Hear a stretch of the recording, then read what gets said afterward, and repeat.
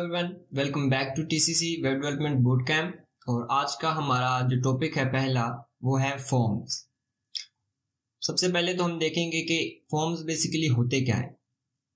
जैसे कि अगर इस साइट पे देखे जाए तो एक फॉर्म की एग्जांपल दी गई है। ये फॉर्म फेसबुक की तरफ़ से यूज़ किया जाता है यूज़र से डेटा कलेक्ट करने के लिए लॉगिन का।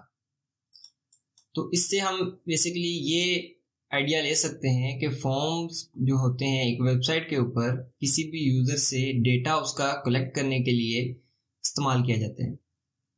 अब वो डेटा डिफरेंट किस्म का हो सकता है। फॉर एग्ज़ाम्पल अगर एक कॉलेज की वेबसाइट है तो वो डेटा कलेक्ट कर सकती है एडमिशन के लिए, जैसे कि name father name ID card number etcetera जैसा कि फेसबुक की एक वेबसाइट है तो वो ईमेल और पासवर्ड लॉगिन के लिए इन्फॉर्मेशन कलेक्ट कर रही है यूजिंग अ फॉर्म इसी तरह अगर और मुख्तलिफ़ किस्म की वेबसाइट्स पे अगर देखा जाए तो न्यूज़ लेटर्स के लिए फॉर्म्स को कलेक्ट किया जाता है डेटा आपका ईमेल ताकि आपको ईमेल की मार्केटिंग की जा सके। तो ये बेसिकली एक फॉर्म होता है जो कि आपको डेटा यूज़र का कलेक्ट करने के लिए इस्तेमाल किया जाता है। अगर इसकी हम डेफिनेशन यहाँ पे देख लें तो H T M L form allow users to input and submit data to a web server for processing के एक जो यूज़र्स होते हैं, उन वेबसाइट के ऊपर उनको डेटा हमें देने के लिए डेटा इनपुट करने के लिए जो हम एलिमेंट इस्तेमाल करते हैं एच के अंदर, वो होते हैं एच फॉर्म्स अब इसका बेसिक हम अब सिंटेक्स देखेंगे कि एच फॉर्म का कौन कौन से एलिमेंट्स हैं और उसका बेसिक सिंटेक्स क्या है। तो अगर हम यहाँ पे देखें अब तो हमारे पास हैं फॉर्म के एलिमेंट्स कि एच के फॉर्म के अंदर कौन कौन से बेसिकली एलिमेंट इस्तेमाल किए जाते हैं? हमारे पास यहाँ पे एक लिस्ट है दस एलिमेंट्स की जो कि एच के अंदर फॉर्म्स के लिए इस्तेमाल किए जाते हैं और उन तमाम के यहाँ पे सिंटेक्स भी मौजूद है। हम वन बाय वन करके तमाम एलिमेंट्स को यहाँ से देखेंगे और उनका सिंटेक्स भी देखेंगे देन हम उसको वी एस कोड के अंदर कोड करेंगे। अगर हम देखें हमारा पास पहला एलिमेंट जो है हमारा फॉर्म का है, जिस तरह के हमने प्रीवियसली टेबल्स के अंदर देखा, कि एक हमारे पास टैग था जो कि टेबल का टैग था, जो कि एक पूरे टेबल को रैप कर रहा था।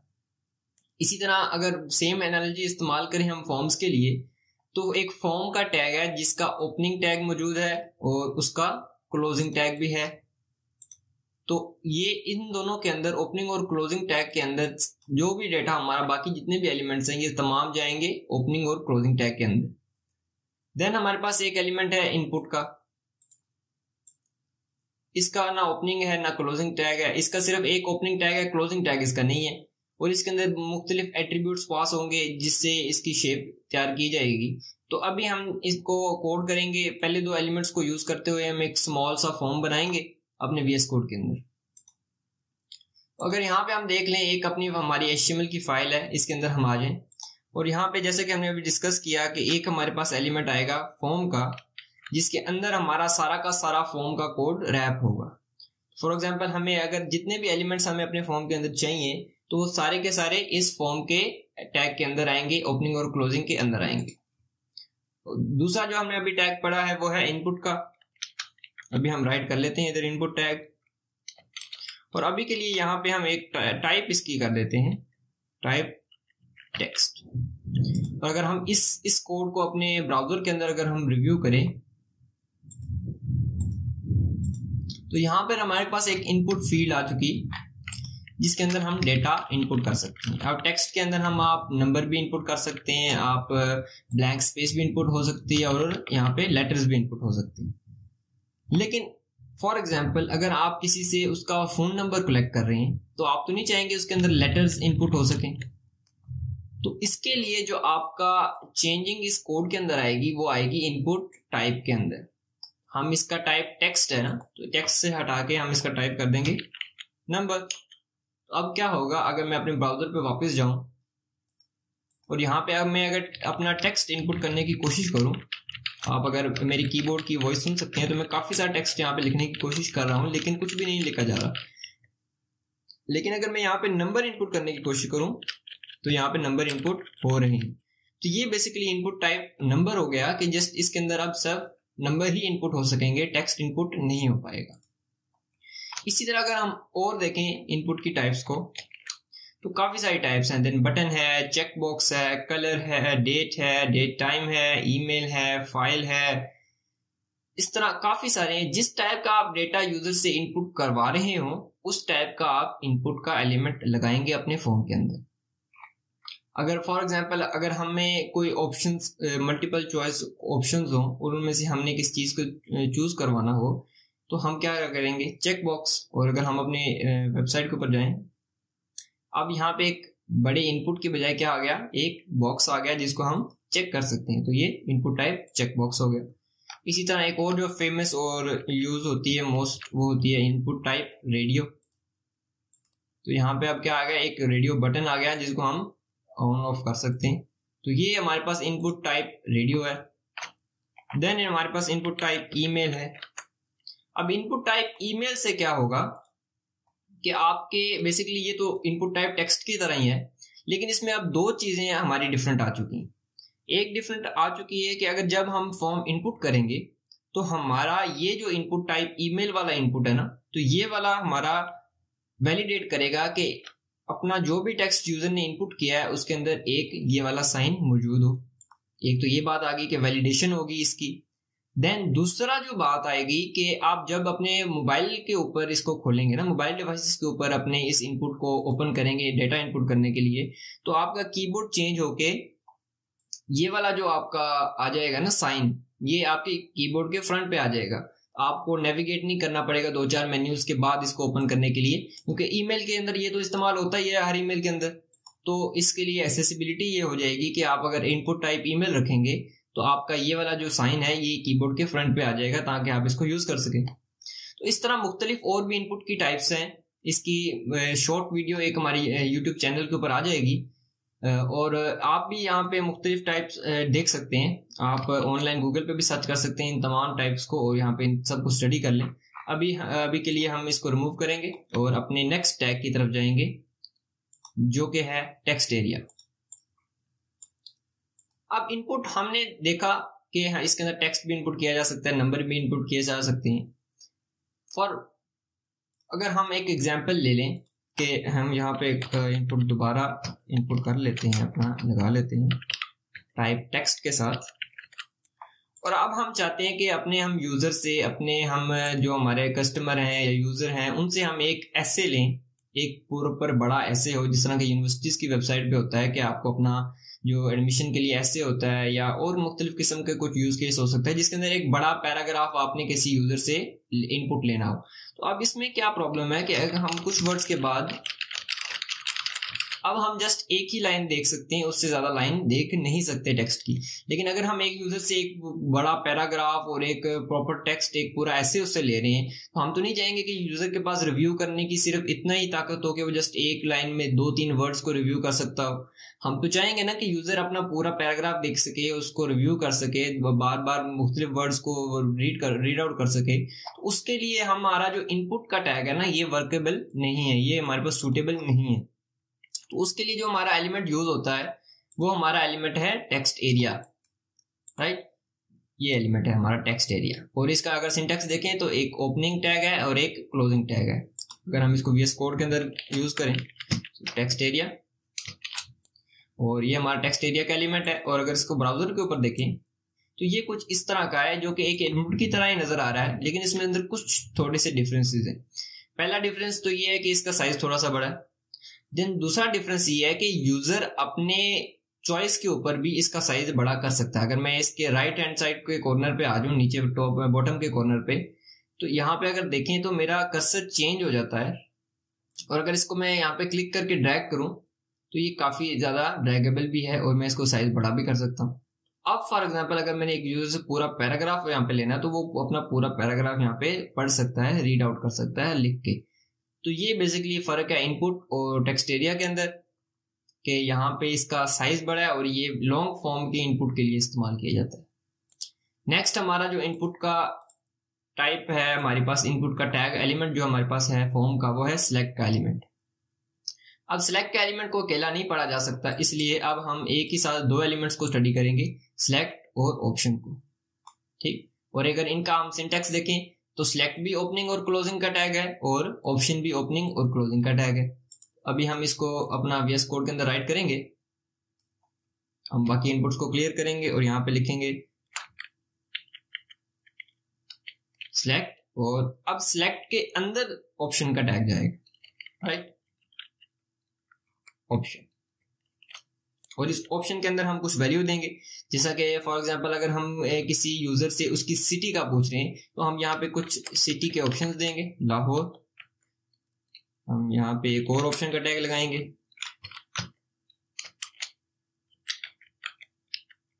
इस्लामाबाद। राइट अगर हम दो ऑप्शंस दिए हैं इस सिलेक्ट के एलिमेंट के अंदर, अगर हम इसको ब्राउज़र के ऊपर देखें तो अब हमारे पास एक यहाँ पे एक इनपुट टाइप आ गया है, और इसके अंदर जो हमारा फ़र्स्ट बेसिक वैल्यू सिलेक्टेड होगी, वो तो वो वाली होगी जो टॉप पे होगी कोड के अंदर यहाँ पर और अगर हम यहाँ पे इसको यहाँ पे क्लिक करें तो हमारे पास कुछ ऑप्शन अगर इस्लामाबाद सेलेक्ट करते हैं तो ये इस्लामाबाद सेलेक्ट हो जाता है। और इसी तरह अगर हम मल्टीपल पाँच से सात हमारे पास प्री डिफाइंड ऑप्शन हो, जिसके अंदर से हमने यूज़र को सिलेक्ट करवाना हो तो उसके लिए हम क्या यूज़ करते हैं? सिलेक्ट का एलिमेंट अब ऑप्शन के साथ यहाँ पे एक और इसके अंदर एट्रीब्यूट पे जाएगा, जो कि जाएगा वैल्यू का। और वैल्यू क्या होगी? वैल्यू सेम वही होगी जो आप डिस्प्ले करवा रहे हैं, या स्लाइटली डिफरेंट होगी, लेकिन आपकी वैल्यू ये वाली जो आपका एट्रीब्यूट है ना, ये आपका कंट्रीब्यूट करेगा जब आप सर्वर से इसका डेटा कलेक्ट कर रहे होंगे प्रोग्रामिंग लैंग्वेज जावास्क्रिप्ट या पाइथन या जिससे भी तो आप जब इससे डाटा कलेक्ट कर रहे होंगे, इसका ये वाला डाटा पार्स नहीं होगा डाटा ये वाला जाएगा सर्वर के पास, ठीक है, जो आपके इसके एट्रीब्यूट में दिया होगा। तो मोस्ट मोस्टली केसेस के अंदर तो ये वाला टेक्स्ट और ये वाला टेक्स्ट सेम ही होते हैं। कुछ केसेस डिफरेंट होते हैं ये ये वाला टेक्स्ट कैमल केस कर दिया जाता है और ये वाला नॉर्मल रखा जाता है। तो ये डिफरेंट केसेस हैं, लेकिन अगर दोनों वैल्यूज़ सेम भी हों तो भी वर्क कर जाएगा। और सिलेक्ट का बेसिकली ये सिंटेक्स है कि सिलेक्ट का एलिमेंट ओपनिंग और क्लोजिंग और उसके अंदर ऑप्शन के टैग्स जाते हैं, जिसका ओपनिंग और क्लोजिंग के दरमियान कंटेंट जाता है, जो आपने वेब पेज के ऊपर डिस्प्ले करवाना हो। और उसके आपका जो एट्रीब्यूट है वैल्यू का, उसके अंदर आपकी वो वैल्यू जाती है जो आपने अपने सर्वर को पास करवानी है अपने डेटाबेस के अंदर। तो ये एलिमेंट था हमारा सिलेक्ट का।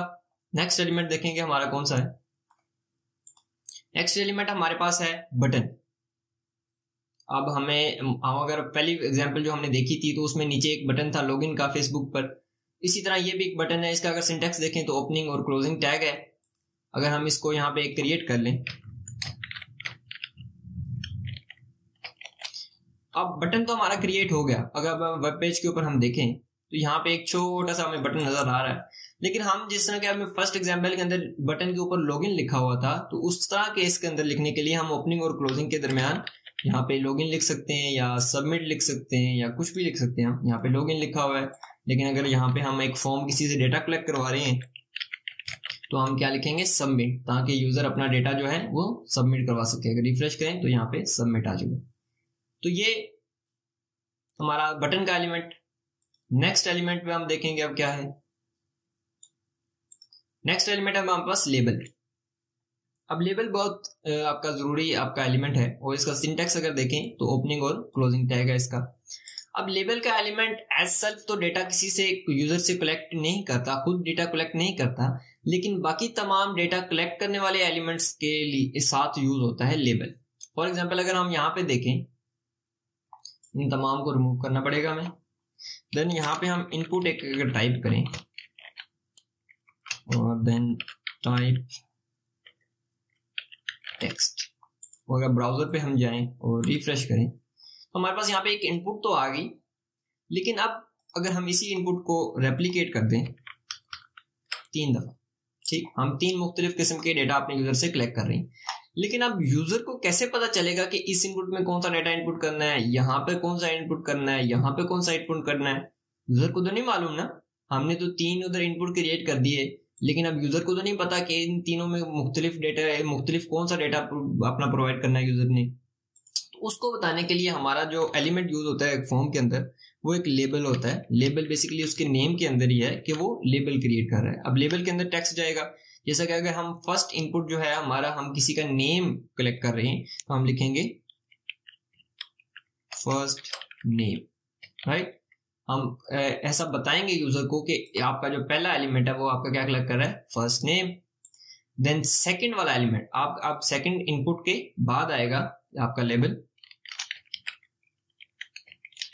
और यहाँ पे हम लिख देंगे लास्ट नेम अब हमें क्या मालूम हो गया कि फ़र्स्ट एलिमेंट जो हमारा इनपुट का है, वो हमारा फ़र्स्ट नेम कलेक्ट कर रहा है सेकंड वाला हमारा लास्ट नेम कलेक्ट कर रहा है, और थर्ड वाला बेसिकली कोई हमारा आईडी कलेक्ट कर सकता है। आईडी नंबर क्योंकि अब अब अब हम नंबर कलेक्ट कर रहे हैं तो अब हमारा टाइप टेक्स्ट नहीं आएगा टाइप हमारा अब आएगा नंबर अब हमें क्या मालूम हो गया अब हमें क्या मालूम हो गया कि हमारा जो फ़र्स्ट इनपुट है, वो हमारा फ़र्स्ट नेम कलेक्ट कर रहा है। सेकंड इनपुट जो है हमारा, वो लास्ट नेम कलेक्ट कर रहा है और थर्ड वाला जो है हमारा आईडी नंबर कलेक्ट कर रहा है। तो ये हमारा लेबल है कि हम अपने इनपुट को लेबल आउट कर सकें कि इस हमारा जो ये वाला इनपुट है, ये हमारा क्या डेटा कलेक्ट कर रहा है, ताकि यूज़र को कुछ समझ आ सके कि वो कौन सा डेटा किसमें इनपुट करे। तो ये लेबल का एलिमेंट था। देन हमारे पास जो एलिमेंट आएगा, वो आएगा फ़ील्ड सेट और लेजेंड का। अब ये दोनों को हमें इकट्ठा पढ़ना पड़ेगा। जैसे कि अभी पहले सिलेक्ट और ऑप्शन को हमने इकट्ठा पढ़ा है। अब फ़ील्ड सेट और लेजेंड को हमें इकट्ठा पढ़ना पड़ेगा। और इसी तरह अगर हम यहाँ पे देखें तो इसका सिंटेक्स दोनों का ओपनिंग और क्लोजिंग टैग मौजूद है दोनों के। हमें भी इसी तरह अब इनको ओपनिंग और क्लोजिंग टैग लिखना पड़ेगा। फॉर एग्ज़ाम्पल क्या हो कि हमने एक ये यहाँ पे पर्सनल डेटा एक यूज़र का कलेक्ट किया है। लेकिन इसी को हम क्या करते हैं? कॉपी कर लें और हम थोड़ा सा नीचे आ जाएँ और यहाँ पे पेस्ट कर दें। और हम बजाय फ़र्स्ट नेम के, हम यहाँ पे अब उसका पूछ लें। उसका हम पूछ लें कि वो कौन सी कंपनी में काम करता है? तो कंपनी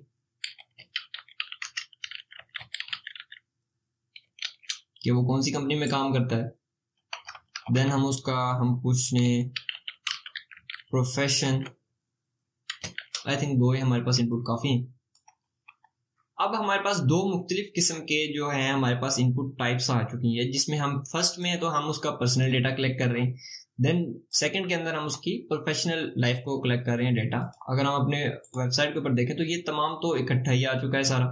इस ये जो थोड़ा सा एरर इसमें ऊपर नीचे आ रहा है इसी लेक्चर के अंदर आगे हम एक्सप्लेन करेंगे। अभी के लिए इसको कलेक्ट करने के लिए हम क्या करते हैं कि हम यहाँ पे एक बी आर टैग डाल देते हैं, जो कि है ब्रेक टैग जो कि यूज़ होता है लाइन को ब्रेक करने के लिए। तो अब यहाँ पे हमारे पास ये ठीक हो गया। तो अब अगर हम देखें, अब हमारे पास दो मुख्तलिफ़ किस्म के डेटा कलेक्ट हो रहे हैं। ये पर्सनल कलेक्ट हो रहे हैं और ये यहाँ पे प्रोफेशनल कलेक्ट हो रहे हैं। अब इनको डिफरेंस बताने के लिए कि ये वाला पर्सनल है और ये वाला प्रोफेशनल है, हम यूज़ करेंगे हमारे जो एलिमेंट्स हैं फ़ील्ड सेट के और लेजेंड के। ठीक? अब हम देखेंगे फ़ील्ड सेट का एलिमेंट हमारा। फ़ील्ड सेट और अब इस फ़ील्ड सेट के अंदर हमारा एक फ़ील्ड से रिलेटेड प्रॉपर सारा का सारा इनपुट का हमारा एलिमेंट जो होंगे वो चले जाएँगे। जैसा कि अगर हम उसकी लाइफ के बारे में कलेक्ट कर रहे थे पर्सनल लाइफ के बारे में तो वो एक सारी हमारी फ़ील्ड हो जाएगी। और इस फ़ील्ड सेट के अंदर हमारा एक एलिमेंट आएगा, जो कि है लेजेंड का।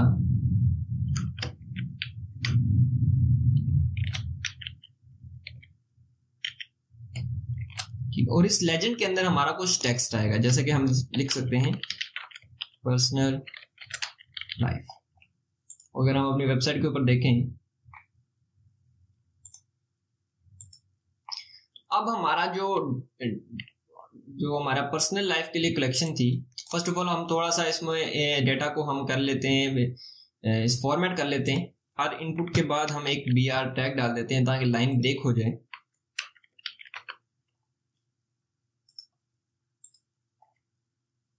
ठीक अब वहाँ पर अगर देखें तो हमारा एक फ़ील्ड अलहदा हो चुकी है, एक हमारा बॉर्डर बन चुका है, जिस, जिन डेटा के, जिस इनपुट के अंदर हम उसका पर्सनल लाइफ का डेटा कलेक्ट कर रहे थे, उन तमाम के इर्द गिर्द एक बॉर्डर आ चुका और वहाँ पे एक हमारे पास हेडिंग आ गई जो कि है पर्सनल लाइफ जो कि हमने लेजेंड के अंदर लिखी थी। अगर हम लेजेंड को रिमूव कर दें तो हमारा लेजेंड रिमूव हो गया जस्ट एक बॉर्डर आ गया, एक फ़ील्ड अलहदा कर दी गई कि ये पर्सनल लाइफ के लिए। हम लेजेंड को यहाँ पे दोबारा रखेंगे और एक दोबारा फ़ील्ड सेट हम बना लेंगे। और इसके अंदर हम एक लेजेंड भी बना लेंगे। और इस लेजेंड के अंदर हम लिखेंगे प्रोफेशनल इंफॉर्मेशन कि हम अब उसकी प्रोफेशनल इंफॉर्मेशन कलेक्ट कर रहे हैं यूज़र अब हमारा जो प्रोफेशनल इंफॉर्मेशन के लिए इनपुट हमने यूज़ किए थे वो सारे के सारे इस फ़ील्ड के अंदर आ जाएँगे।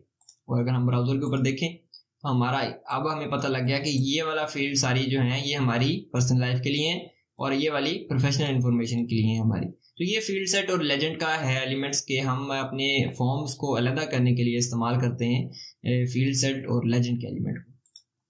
नेक्स्ट हमारे पास जो आ, हमारा लास्ट एलिमेंट है वो है हमारा ऑप्शन ग्रुप ओपीटी ग्रुप और इसका सिंटेक्स अगर हम देखें तो इसका ओपनिंग और क्लोजिंग अब ये इस्तेमाल यहाँ पर तो नहीं मौजूद होता। फॉर एग्जांपल अगर यहाँ पे हमने एक कंपनी का पूछा है कि किसमें वर्किंग करते हैं और एक प्रोफेशन का पूछा है कि आपका क्या प्रोफेशन है तो क्या हो कि हमें जस्ट एक, हमारे पास ऑलरेडी एक प्री डिफाइंड एक सेट हो हमारे पास कि उन्हीं प्रोफेशन के हमें लोग चाहिए। फॉर एग्जांपल अगर हमें एक सॉफ्टवेयर इंजीनियर और एक हमारे पास शेफ और एक हमारे पास जो है कंस्ट्रक्शन वर्कर इन तीनों प्रोफेशन के सिर्फ़ लोग चाहिए। तो उनके लिए हम इनपुट टाइप टेक्स्ट अगर हमने डाल दिया तो इसमें तो लोग कुछ भी इनपुट कर सकते हैं। तो हम अगर हमारे पास प्री डिफाइंड हो तो उसके लिए अभी हमने डिस्कस किया था कि हम यूज़ करते हैं सिलेक्ट और ऑप्शन इसी तरह अगर हम यहाँ पे देखें कि इनपुट टाइप इनपुट को हम रिमूव करें, और यहाँ पे एक हम अपना सिलेक्ट का बना लें एलिमेंट और इसके अंदर हमारे कुछ ऑप्शन चले जाए राइट इसकी वैल्यू हमारे पास, हमने डिस्कस की थी कि सर्वर के लिए जाएगी। अभी हम वैल्यू इसमें लिख देते हैं software engineer right short form use करेंगे।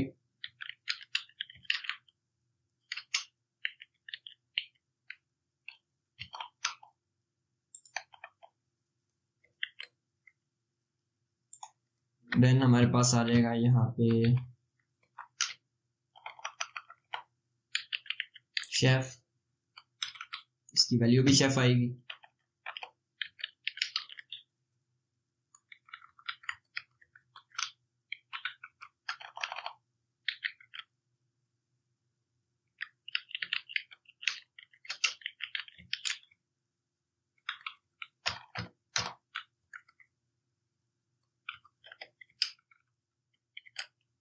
अगर हम अपने ब्राउज़र पे आप देख लें तो हमारा इनपुट जो था, एक हमारे पास फ़ील्ड थी, उससे हटके एक हमारे पास ड्रॉप डाउन हो चुका है। लेकिन क्या हो गया, हमारे पास अब सिर्फ़ तीन के बजाय काफ़ी सारे हमारे पास यहाँ पे ऑप्शंस मौजूद हो। उन उन तमाम ऑप्शंस को जिस तरह हमने अब मुख्तलिफ़ फॉर्म्स को अलग अलग कर दिया है, उन तमाम ऑप्शंस को हमने अलग अलग करना हो तो कैसा होगा? अगर हम यहाँ पे देख लें, एक कंस्ट्रक्शन एक शेफ के साथ हमें एक शेफ का असिस्टेंट भी चाहिए हो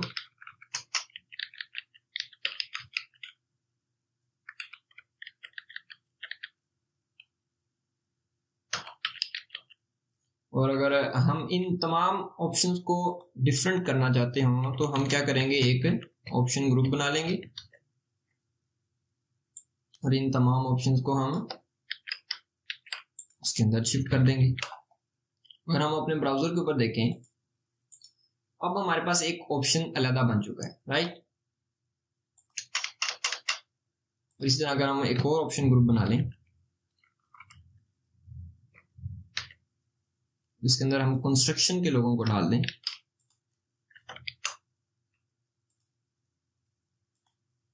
देन अब हमारे पास मुख्तलिफ़, एक हमारे पास स्पेसिंग आ चुकी है मुख्तलिफ़ ऑप्शन के अंदर कि हमारे पास सॉफ्टवेयर इंजीनियर अलग है हमारे पास ये हमारे अलग प्रोफेशन हैं और ये हमारे पास अलग प्रोफेशन है। इस तरह ऑप्शन के मुख्तलिफ़ आप ग्रुप बना सकते हैं, जिस तरह आपने फ़ील्ड सेट यूज़ करते हुए अपने इनपुट के मुख्तलिफ़ ग्रुप्स बनाए थे, इसी तरह आप ऑप्शन के भी मुख्तलिफ़ ग्रुप बना सकते हैं।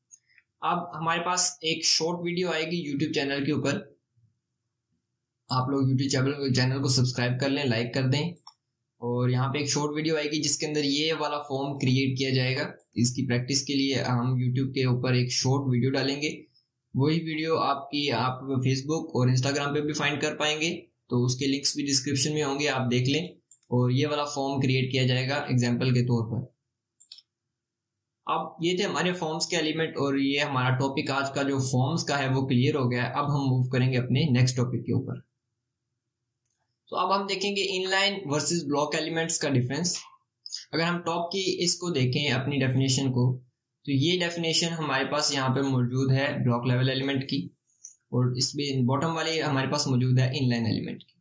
तो अगर हम टॉप की इसको देखें इंफॉर्मेशन को, हमारी डेफिनेशन जो हमारी ब्लॉक लेवल की है तो HTML elements that typically start on a new line and occupy the full width available are block level elements. जैसा कि हम अगर एग्जांपल के ऊपर देखें तो ये ऊपर वाले क्या है सारे? ब्लॉक लेवल एलिमेंट्स हैं कि हर एलिमेंट एक न्यू लाइन के ऊपर शुरू हो रहा है और एक पूरी लाइन के ऊपर जितनी भी विथ अवेलेबल है, वो सारी की सारी ऑक्यूपाई कर रहा है एक ही एलिमेंट तो ये है ब्लॉक लेवल एलिमेंट इसी तरह अगर हम देखें इनलाइन एलिमेंट्स को HTML elements that do not force a new line to begin or before or after the element that typically only takes as, as much width as necessary कि ऐसे elements के जो एक न्यू लाइन पे force ना करें start होने से और उतनी ही स्पेस लें जितनी उनकी ओरिजिनल विड्थ है पूरी विड्थ की स्पेस वो ना लें वो क्या है इनलाइन एलिमेंट्स जैसे अगर हम देखें बॉटम के ऊपर इस एग्जांपल पे कि हमारे पास हर एलिमेंट अपनी विड्थ ले रहा है और न्यू लाइन के ऊपर बिगिन नहीं कर रहा।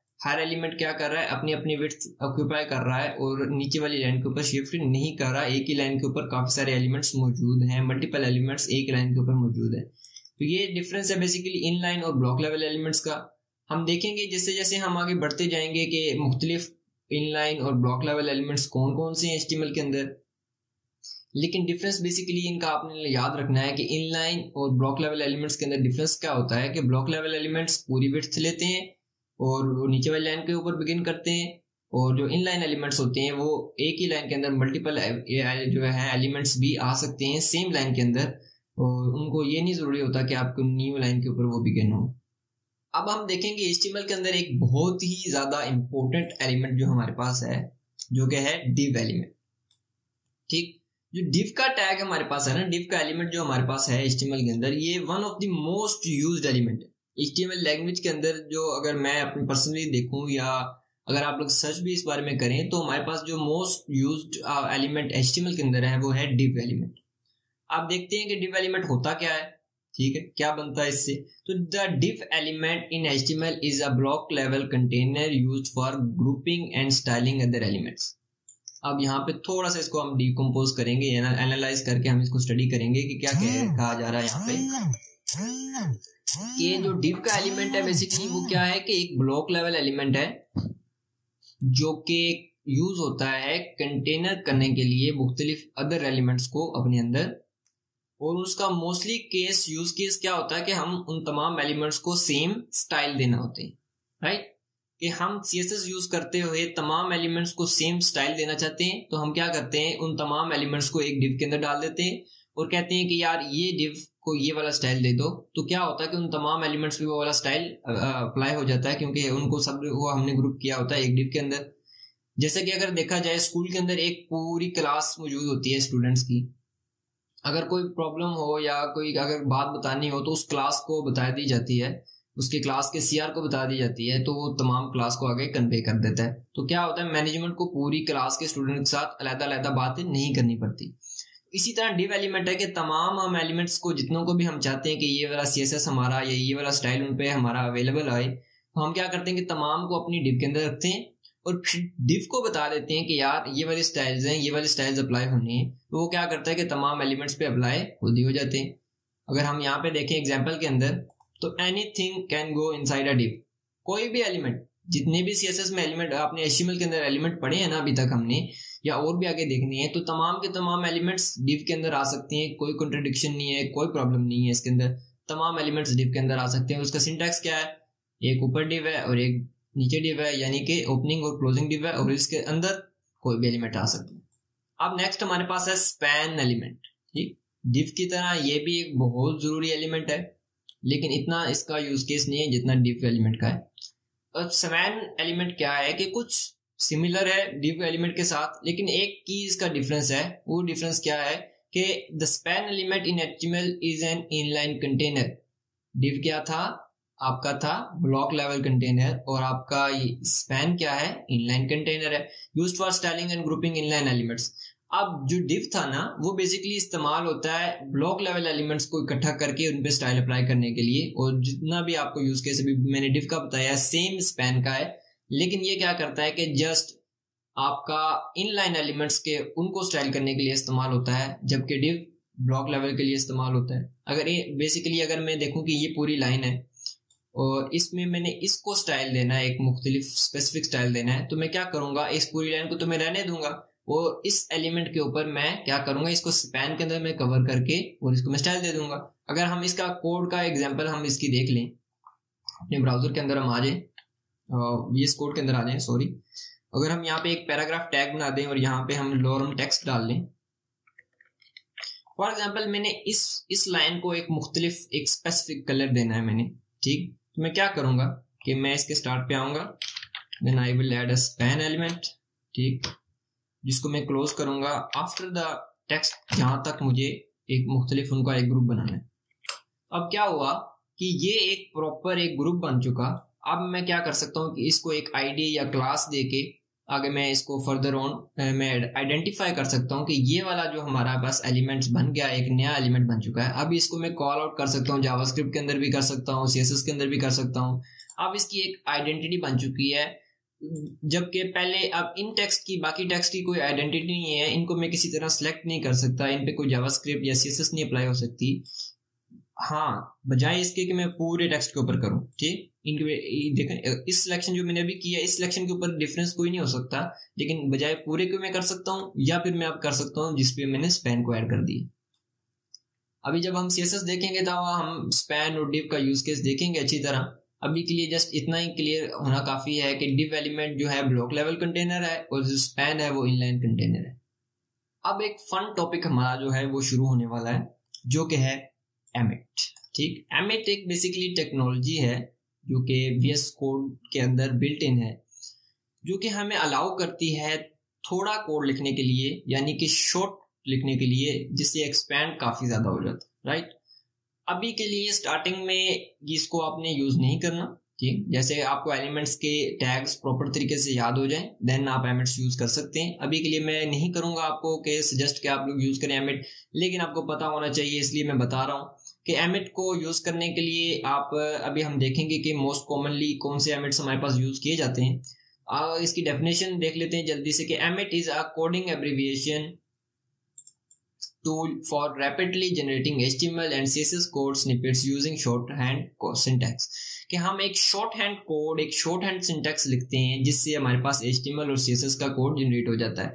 अगर हम एग्ज़ाम्पल यहाँ पे देखें कि हमारे पास एक एच वन एलिमेंट है, हमने यहाँ पे सिलेक्ट किया हुआ है, ठीक है एच वन देन हम उसको मल्टीप्लाई कर रहे हैं थ्री के साथ और फिर हम डॉट हेडिंग उसके आगे लिखा हुआ। अब मैं इसको आपको बताऊँ कि इसका क्या बनेगा। इस पूरे का एक ये एमिट की एब्रीविएशन है। अब इसका एलिमेंट्स कितने, क्या बनेंगे? अब मैं इसके तीन हेडिंग्स बनेंगी एच वन की, और उन तमाम हेडिंग्स के अंदर एट्रीब्यूट एक यूज़ किया जाएगा, जो कि है क्लास का एट्रीब्यूट और वो क्लास के एट्रीब्यूट का जो टेक्स्ट होगा, वो होगा वैल्यू उसकी जो होगी, वो होगी हेडिंग अब इसको वीएस कोड के अंदर हम जल्दी से देखेंगे कि हम अगर यहाँ पे आ जाए, क्या हो गया? अब हमें तीन, हमें हेडिंग्स चाहिए। तो हम क्या, हम बजाय इसके कि एच वन इधर एक बनाए, ठीक? एच वन बनाए क्लोज करें अगली लाइन पे आए, दोबारा एच वन बनाए। तो देन वो क्या है कि हम टीवीएस है ना, हम जब, हमें पता है कि हमने तीन एच वन बनाने हैं तो हम क्यों ना उसको रैपिडली जल्दी से जनरेट कर लें, जैसे हम एच वन लिखें देन स्टैरिक का साइन जो कि मल्टीप्लीकेशन के लिए यूज़ किया जाता है देन हमें क्योंकि तीन बनाने हैं तो तीन। अब एंटर करेंगे तो क्या होगा कि तीन मुख्तलिफ़ एच वन बन गए। अब तीन मुख्तलिफ़ एच वन बन गए, लेकिन क्या था कि हमें तो हर एच वन के अंदर एक ऐसा एट्रीब्यूट चाहिए था कि क्लास हो और यहाँ पे लिखा हो हेडिंग राइट अब क्या हम तीन बार मुख्तलिफ़ लिखेंगे? नहीं उसकी भी हमारे पास एबिट मौजूद है। हम यहीं पे आ जाएँगे वापस और यहाँ पे हम लिखेंगे डॉट क्योंकि क्लास के लिए डॉट इस्तेमाल होता है और हम यहाँ पे लिखेंगे हेडिंग तो अब हमारे पास क्या होगा कि तीन मुख्तलिफ़ हेडिंग बन गई। तमाम में एक एक एक एट्रीब्यूट है जो कि है क्लास हेडिंग का। लेकिन क्या हो गया हमें क्लास तो नहीं चाहिए थी, हमें आईडी चाहिए थी। तो हम लिखेंगे हैश हेडिंग तो इससे क्या होगा कि बजाय क्लास के एट्रीब्यूट के, अब आईडी का एट्रीब्यूट आ जाएगा और एंटर दबाएँगे तो तीन मुख्तलिफ़ आ गए। आईडी आ गई अब।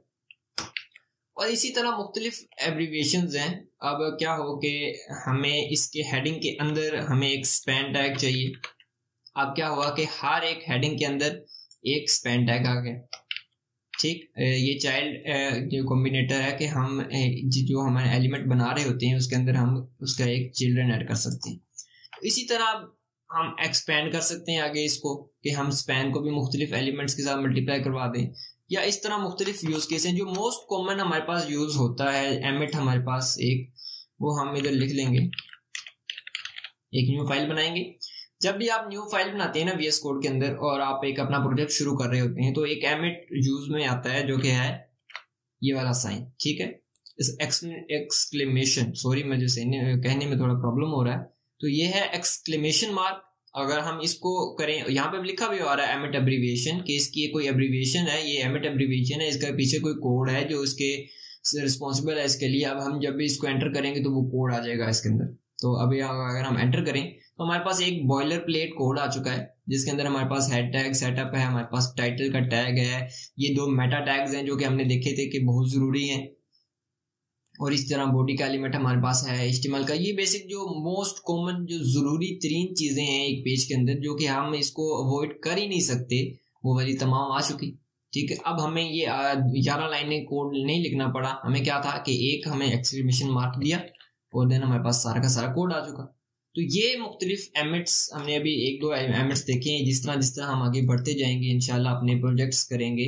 तो हम तमाम एमिट्स को देखेंगे, मुख्तलिफ़ एमिट्स को देखेंगे। आप गूगल पे भी सर्च कर सकते हैं। एमिट्स की अपनी एक वेबसाइट भी है एमिट डॉट आईओ आप वहाँ पे भी जाके सर्च कर सकते हैं। मुख्तलिफ़ एमिट्स और मुख्तलिफ़ डॉक्यूमेंटेशन हैं।